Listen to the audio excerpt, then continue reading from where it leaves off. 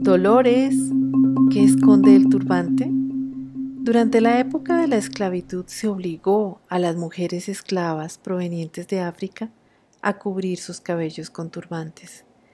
Ellas aprovecharon esta imposición para guardar el secreto de fuga hacia los palenques.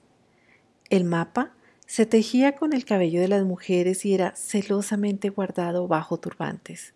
Las mujeres tenían la responsabilidad de guardar el secreto entre los suyos, secreto que los llevaría a la libertad.